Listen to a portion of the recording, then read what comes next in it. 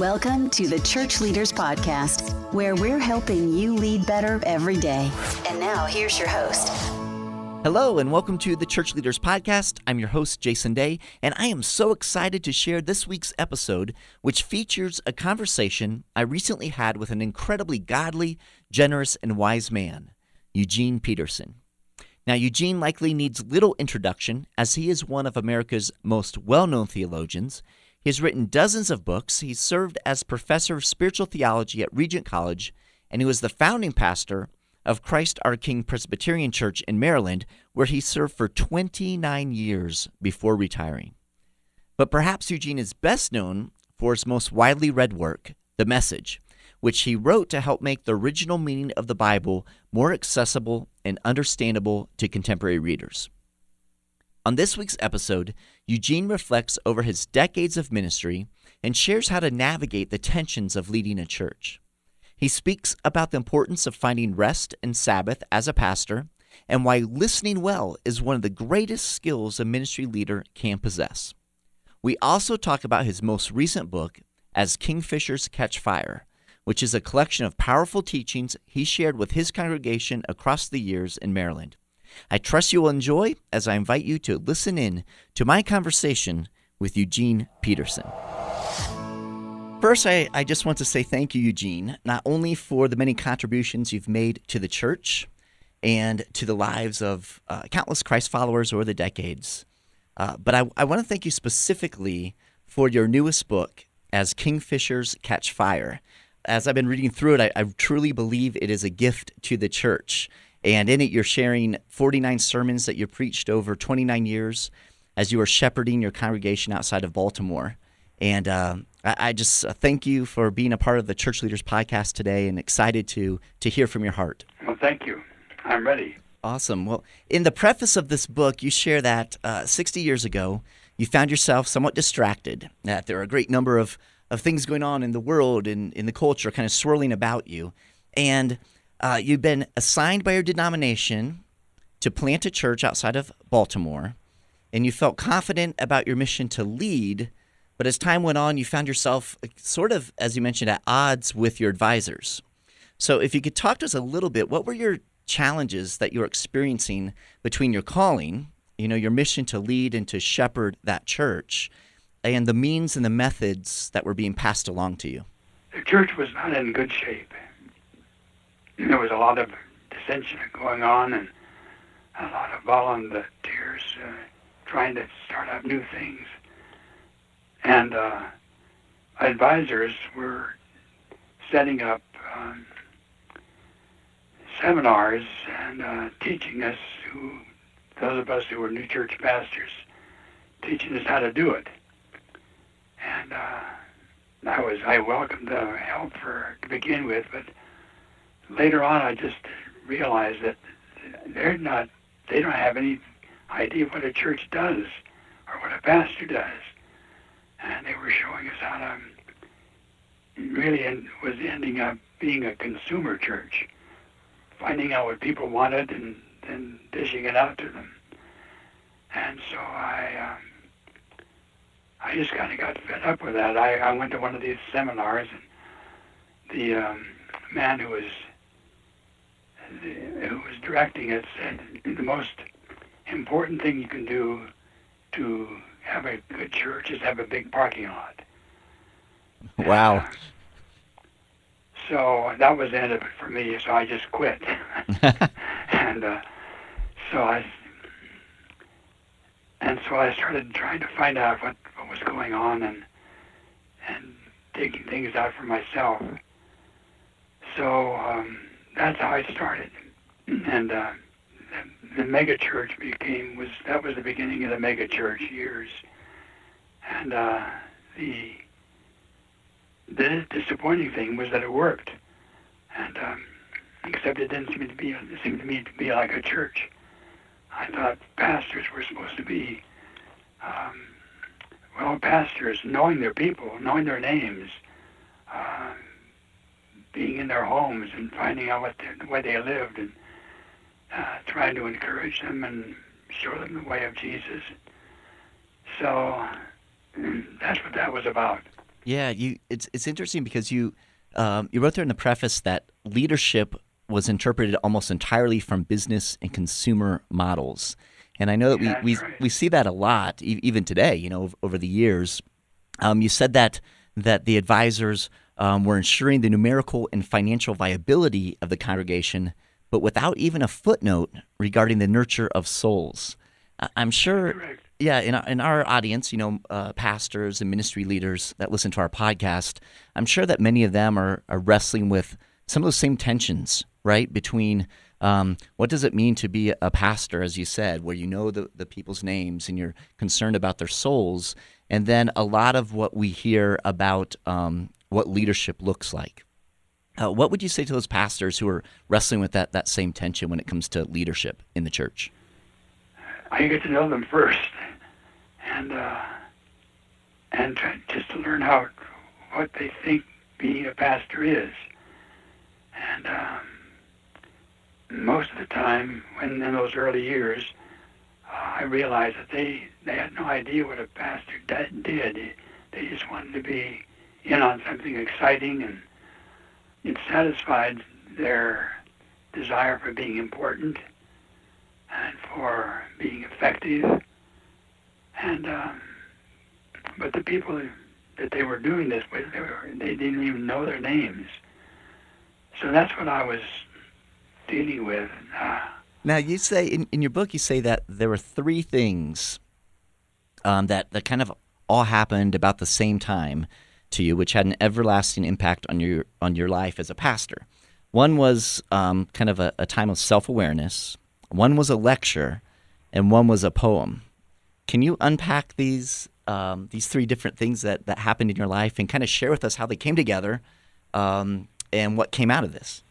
well, I think the self-awareness was that I was not preaching. I was, uh, I re- and I realized that after, oh, three or four months, um, I was copying things that I heard on the radio or television or something, and and I realized that I was not paying much attention to what the Bible said or what Jesus said, but what uh, some kind of interest or just entertainment from a, from a congregation. So that was kind of self-awareness, just realizing I was being caught up in the the world's idea of what it means to be successful and happy and productive. Uh, and the lecture was um, was at Johns Hopkins University. I can't think of the name of the guy right now. He was uh, from Switzerland, and uh, he was a doctor, but he had given up his his practice as a doctor and and just um, started inviting people. Got rid of his stethoscope and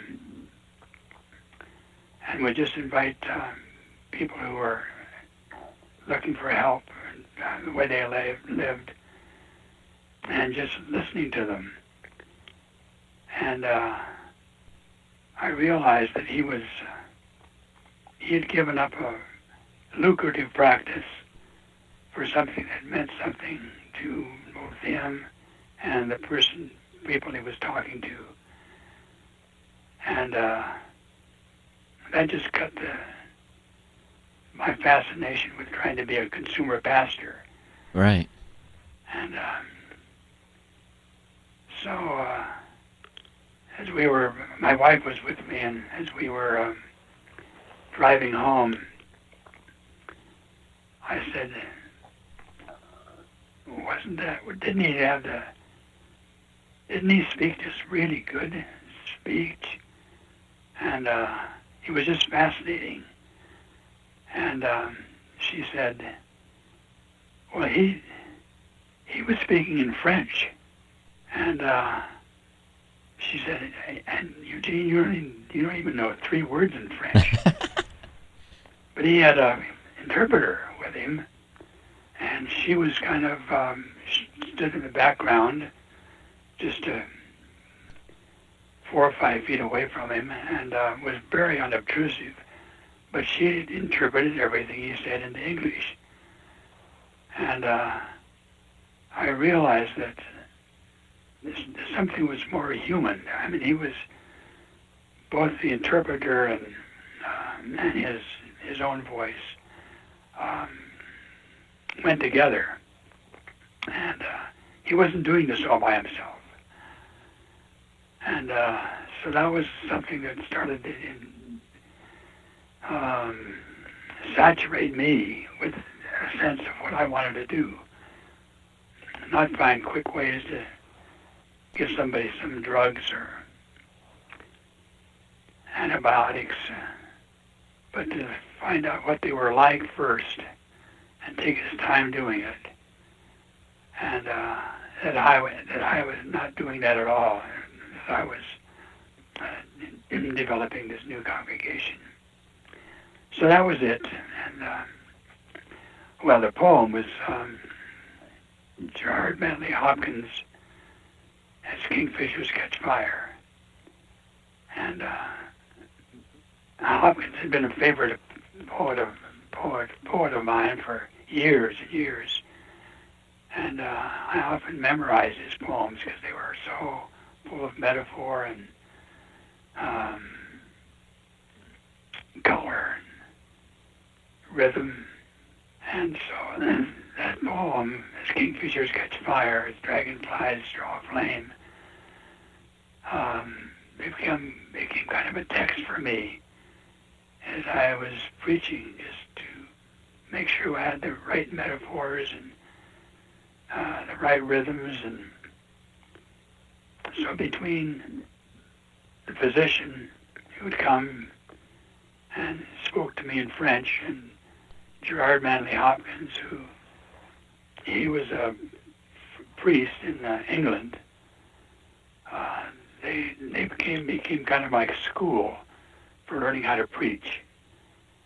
So I think that I was rescued from the consumer uh, mentality by the beauty of those that poetry, by the honesty of the doctor. Well, that's powerful because uh, as you listen to that and as you think through that, it's kind of one of the most unlikely places that you'd think that um, something would come through in that way. And, and as I have sensed across the years of your, of your ministry and through your writings, that oftentimes um, it is those unlikely places that that the voice of God breaks into our lives. Uh, it's not always, like you said, the the seminars on how to do this and how to do that, but it's those those smaller, more unlikely instances of life where the Spirit just speaks and and helps us um, take those steps into becoming the men and women that God created us to become. Exactly. Eugene, as I was reading your book, I was struck by how timely the sermons you were preaching at your church years ago in Maryland really address issues we are facing today. For example, in your message out of Job, you share that the easy answers of Job's friends are a cruel substitute for God Himself. We live in an age abounding with such answers. Sometimes we talk them, sometimes we record them. Putting faith in education, technology, counsel, moral programs, and spiritual techniques. And then you go on to explain the solution for Job was not found in all these other things that we so often run to, right? But it was found in God and in listening to God's questions. Can you share with us why listening to God's questions is so important as we journey with Him? People want them want answers from God, and they keep. Um, the pastors hear this all the time. Why doesn't God answer my prayers? Why doesn't He do this and that? Um, but what we want from God is uh, is something to do, something to make me better, something to uh, give me the answers to life. And what we what we're really after is to answer God ourselves. He's not there to give us answers. Those 49 sermons I've I preached for my congregation. Um, I really just picked those up. I mean, those those sermons are all characteristic of all my preaching, and uh, but I, I think if you read them closely, you don't find many answers there. You find you find some openings for listening to God in a way which we would never have anticipated. And so, preaching, uh, my under, my understanding of preaching then was developed by reversing what the is, was so common in American Protestantism of trying to treat God as as an answer person. And we don't know enough about God to know what to ask. So we listen and we listen and we listen. And sometimes we have people like Job's counselors who who uh, insist that he get the answers. But that doesn't the way it's not the way it works. So I think, um, and good preaching is always this way. Um, and uh, but there's not very much good preaching these days. A lot of entertainment, a lot of stories. Now I think a story is important, and I I have lots of stories that get into my sermons, but uh, they're not the point of it. They're the story is to make some identification with the humanity that uh, we carry around with us all the time. You know, people often will say, well, Jesus is the answer. And, and I've often said, well, Jesus is, is really the question. And if you look mm-hmm. at Jesus, Jesus was always um, helping people come to to wrestle with questions about life and about right. truth and about hope and and um, and I, I love what you're saying because I think if we begin to really focus on listening and and seeing what those questions are, um, that helps us to really dig more deeply into the life that God has for us, both as Christ followers on our journey, but then also as ministers and as pastors, if, as we're seeking to uh, to lead our congregations and um, and share the, the hope of Christ with others. Um, when we can encourage them to wrestle with questions, I see that there's a lot more growth that takes place as opposed to trying to get um, you know a quick answer, which is oftentimes what our culture um, hungers for is those quick answers. Yeah, I agree. I agree totally. Now, as you look back across your decades of ministry, and then you look at the role of the pastor today, and you look at the contemporary church, I'm curious, what advice would you offer to pastors today? I think I start from the other end. Uh, I want to know what's um, what they're doing, what they're feeling, what they're what they're missing, and uh, usually what happens is uh, they discover it themselves. I don't think a pastor is there is in the business of um, just putting things out there and then expecting people to try it out and figure it out.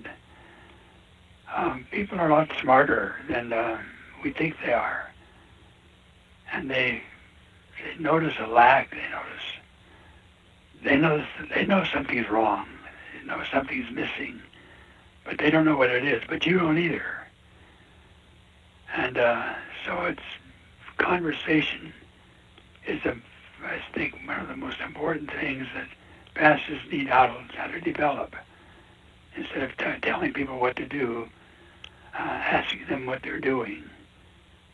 Um, I think pastors need to learn how to listen. Right. And and then fill in the blanks. We don't need more words. We need accurate words. And what's better way to start off than something like the Lord's Prayer?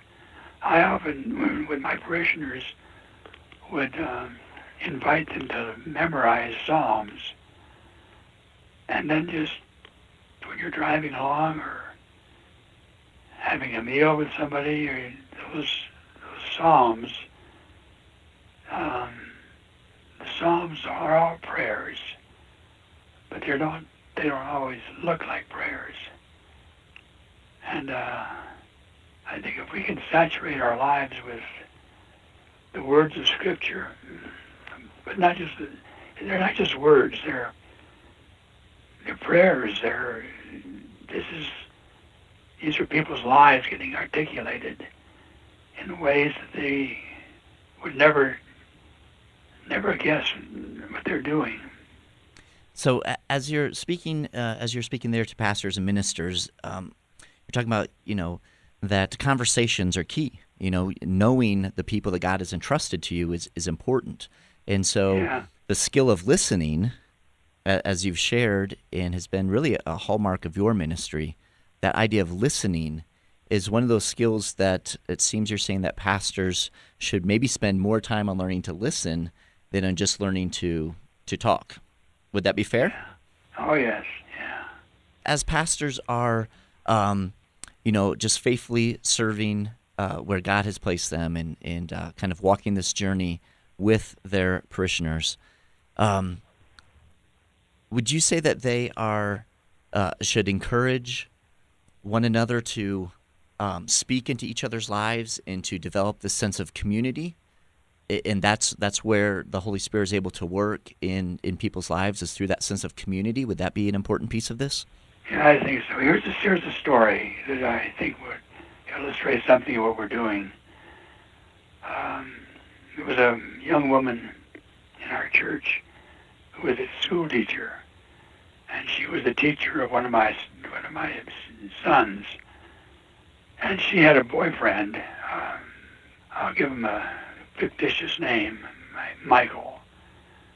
And uh, he was the best athlete our little town had ever had. He he could do everything: football, baseball, soccer, and uh, and he went off to uni- university and um, and he became a drunk. And uh, he was he was doing drugs a lot, and he and he was trafficking dr- in drugs, and then he finally got arrested and he was put in jail. And uh, after about five years, he uh, he was on parole, and he came back to his town, and uh, this this woman, young woman who was uh, had known him in his pre-jail days, he said he went to this his girlfriend at one point and uh, said, you know, I I think I'm a Christian, but I don't I have no idea what that means. But there was just I I was in my cell and all of a sudden there was just this bright light around me and I couldn't figure out what was going on and what do you think? Do you think I'm a Christian? And she said, Well I don't I don't know, but I have a one of my students is her father is a preacher. So uh, let me ask him. So she did. And he, he told me what had happened. And he said, by the way, what is, there was somebody in, the, in my jail, jail cell left a bunch of little papers and uh, about a tithy. What is a, what is a tithy? And uh, I said, well, it's money that you give to the church, to Jesus, um, and it helps other people get healed and food on their tables and things like that. And she said, why don't you come and talk to my pastor? Um, so she did. He came and we talked, and he, I told her what a tithy was. I already did that, I guess.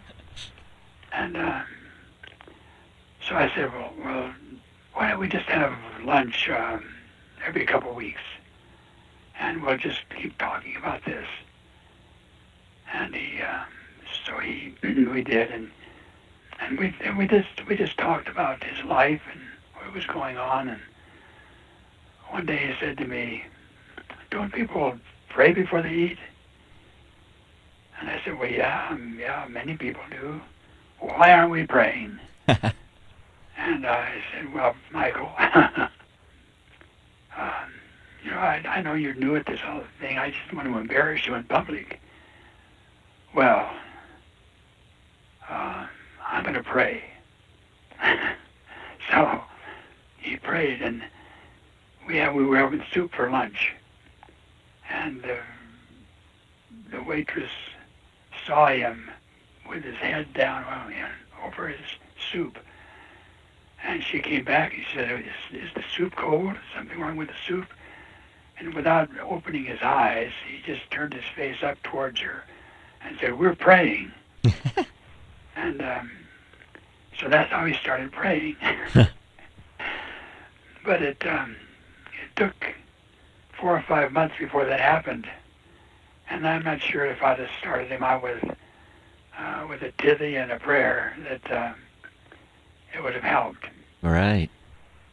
But then uh, he he started going to AA, and it wasn't long. And then he he was exempted from his weekends in the, in the jail, and uh, within um, oh six months he had brought half the county into my into my church.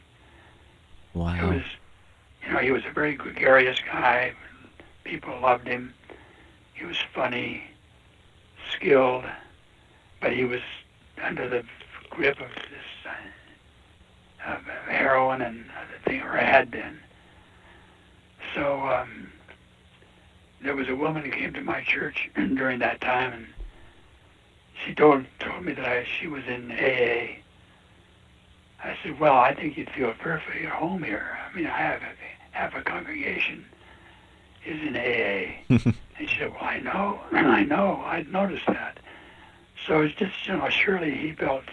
I mean, he developed a communication uh, that um, I could never have done by myself. Wow. I think pastors are need to be more modest in what they're doing.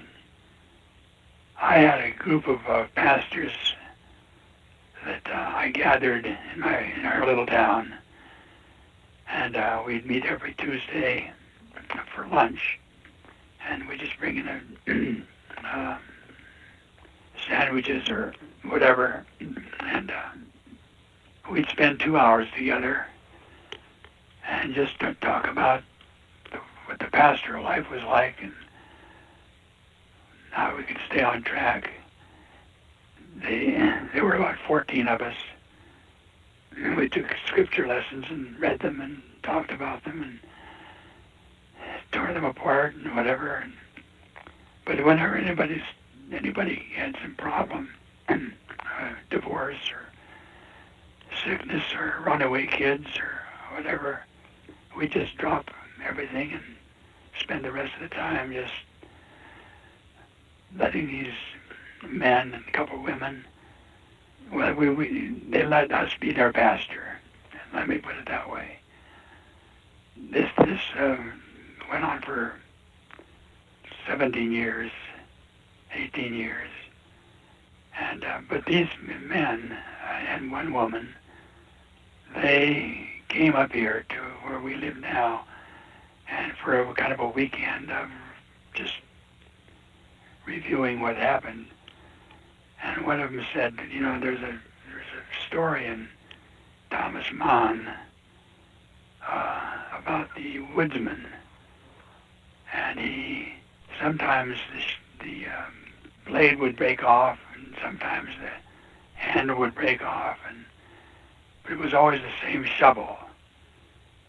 And uh, and they, this woman, it was a woman who said, you know, that's, that's what our company of pastors is. It's, it's always the same axe.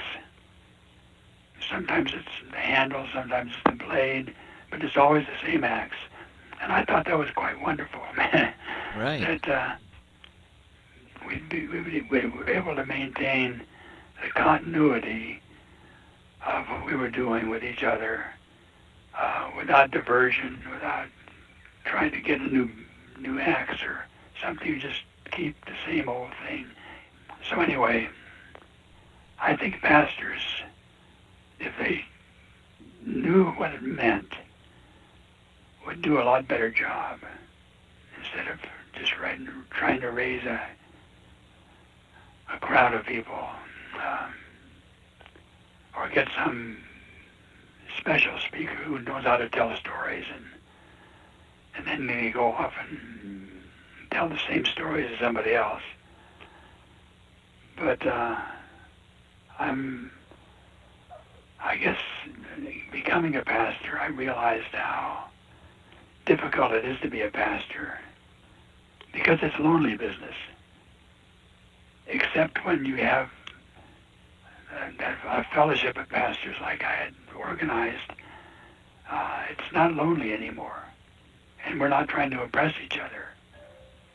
We're letting each other get into our own skin and yeah, it's a it's a beautiful image to think of. You, you know, as as you were talking there, we see uh, lots of pastors. Um, you know, they fall. They have moral failings, and they get in, in, into trouble. They make poor decisions. You know, some some very very harmful decisions um, at times. Uh, do you think that's comes from um, oftentimes from them isolating themselves uh, rather than having some of the community that, that you are able to enjoy with with your colleagues? Yeah, I think so. The, the isolation, uh, but I think it's also ambition. Being a pastor for so many people is competitive, and when you when you're competitive, you're uh, you're a lot more interested in winning than in uh, helping. Right. That all seems to come back to to a lot of what you, you talk about is this idea of of building relationships. You know, kind of slowing down, building relationships, listening to one another, and, and being willing to share with one another. And and oftentimes it seems like in the world in which we live, you know, things are so fast paced and, and like you said, there's a lot of that ambition and it's almost like to slow down and to listen. Um, that's a discipline that you have to be intentional about. Yeah, it really is. I think there's sometimes I'm I'm, I'm really encouraged. Sometimes I feel like uh, maybe we're taking taking a turn for the better and are more complete and, and develops develop more humility. One of the things I just I just have such a hard time of comprehending is why a pastor would want to speak to 5,000 people a week and not know anybody's name. And that just seems almost criminal. No matter how well they speak, if you've got 5,000 people listening to you, um, it's kind of like going to a football game. Uh, you're, there's a lot of action that's going on, going on, and a lot of yelling and swearing and everything else. But uh, you leave that football field, and then you go on and do something else. And um, you shouldn't uh, shouldn't be doing that if you're a pastor. Clearly, you're encouraging pastors to have those personal relationships, um, but we know that oftentimes pastors feel pressure to grow their churches, either from within or outside the church itself. What advice would you give to a pastor who's feeling that type of pressure? Well, um, my son is a pastor. Uh, he's 55, and he started a church, started a new congregation, and uh, he called up the other day. He said he's he's really a good pastor. He's a good preacher, knows people, but he got a little. He called up and said, "I've spent, I spent this week just calling on people cold. I just go up and knock on their door and go in and spend some time with them." And then he said, "I feel more like a pastor than I've ever felt in my life." And I thought that was quite wonderful, actually because he he wasn't doing anything for them, but they were doing something for him. Mm. Which ended up being the same thing. Mm-hmm. It doesn't mean he's not a good preacher, not doesn't do well well in the pulpit, but it's entering into a world has community to it, and um, it put shivers down my back. Actually, wow. I think I didn't give him a stack of books to read first. uh, you know, there's some there's some great books on being a pastor, but they're all um, a couple hundred years old. Can I tell you my favorite pastor book? Yes, I'd love to hear it. In fact, I was going to ask if you'd share some of those with us so that we could kind of include those in the show notes so people could, could take a peek at some of them. Yeah, that'd be great. Let's hear. Uh, written by George Bernanos, a Frenchman. And uh, I picked this book up, Diary of a Country Priest. And when I was taking a trip someplace, and it was an airplane, and I read this, and it was uh, about a, it was a, it's a Roman Catholic uh, setting and this young man um, became a pastor in a very difficult parish. And he was just so committed to, to doing this, and his superiors were making fun of him because he was not good looking and uh, was kind of clumsy. And uh, but he was just stubborn, uh, stubborn to please God. So I read that book, and I, I was it was early in my pastoral work, and I thought, you know, I'm going to be a, I'm going to be a country priest.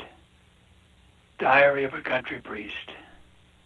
And he kept a diary this whole time, and then he died at quite a at quite a young age of some disease, cancer, I think. And uh, so I came home, having done that, and then I read it again and I read it again. And then at some point I realized it wasn't true. It was it was fiction. But I by that time I'd internalized a lot of it, so right. it became real for me and not fiction. So, um, but there are a few few books like that that I keep and reread and reread. And of course, along with the Bible, So, how would you advise a pastor who is under pressures such as growing the church, right? But struggles with finding time to practice the Sabbath or practice self care? take a long vacation. Hmm. Alexander Whyte was a Scots Presbyterian, uh, and one of his young students came to him. He's, he was a pastor at St. at one of the churches in Scotland for a long time. I don't think he ever changed changed churches. And uh, one of his young seminarians came to him one day and he said, Dr. Whyte, what do you do to be a really good pastor? And he said, relieve yourself as often as possible and take a long vacation. Wow. but that, you know, you- there's a humor there, but there's a two, truth in it too. Right. That you're not uh, doing something that's spectacular.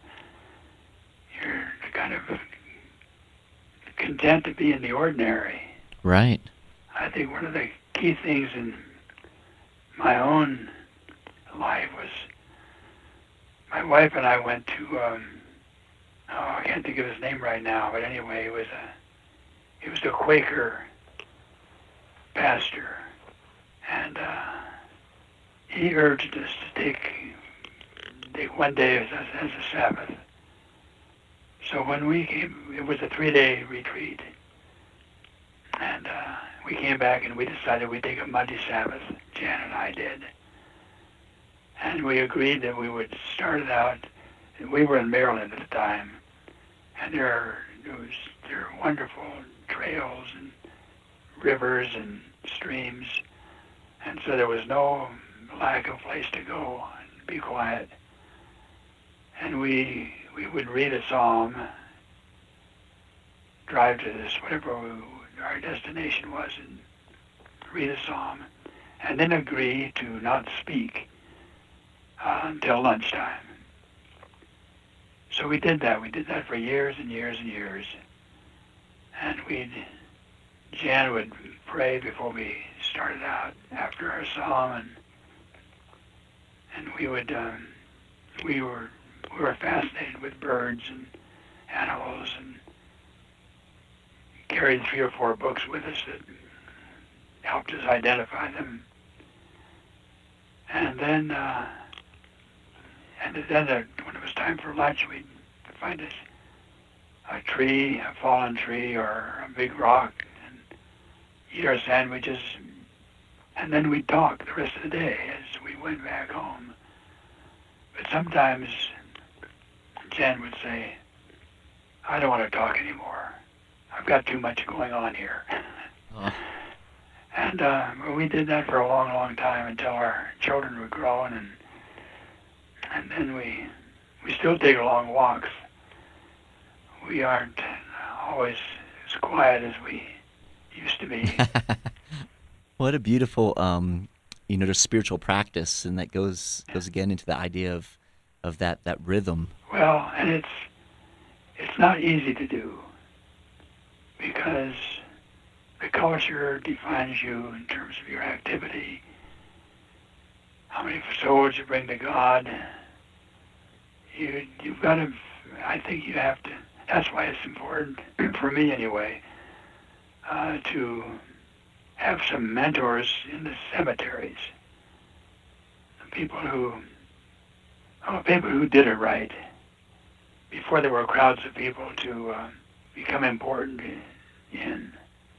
So yeah, I think uh, I think we all have a lot to learn, but we don't have to learn it from from books or from other people, but we can just pay attention to the birds of the air and the fish of the sea and learn to appreciate what's going on and this marvelous creation we have. So anyway, we're together on this, I think. Yes, definitely, definitely. There's something to be said about the idea of presence, right? Mm-hmm. Just being right. being present, and and whether it's you know on a long walk, as you, as you're looking at God's creation and allowing God to, to to speak into your life, or whether it's just being present as a pastor with someone who's going through a difficult time. I think that goes back to what we were saying earlier about not always having to have the answer, but just yeah. that idea of presence and, and what that means. It's beautiful, beautiful, brother. I thank you so much for um, taking time out of your afternoon to spend with me today. It's been a blessing to uh, hear your heart and um, just to be able to spend a little time and uh, gain a little from your wisdom. And I, I, definitely believe that our our listeners will um, will enjoy this conversation that we've been able to have, and uh, will enjoy the the sermons um, that you shared through your your new book as Kingfishers Catch Fire. So thank you for for letting us um, have a look into your 29 years of pastoring there at that, that congregation and, and how you're speaking into their lives as God was speaking into your life. Certainly appreciate that. Thank you for your generosity. And thank you to our listeners for joining us on today's episode. We certainly hope you enjoyed the podcast. And if you are indeed finding value from the Church Leaders podcast, we'd appreciate you taking just a few moments to jump over onto iTunes and to leave us a review. Your positive reviews and ratings help other church leaders find our podcast so they can benefit as well. We thank you so much in advance. And until next time, this is Jason Daye encouraging you to love well and lead well. You've been listening to the Church Leaders Podcast. For articles, videos, and free resources that will help you lead better every day, visit our website, churchleaders.com. Thanks for listening.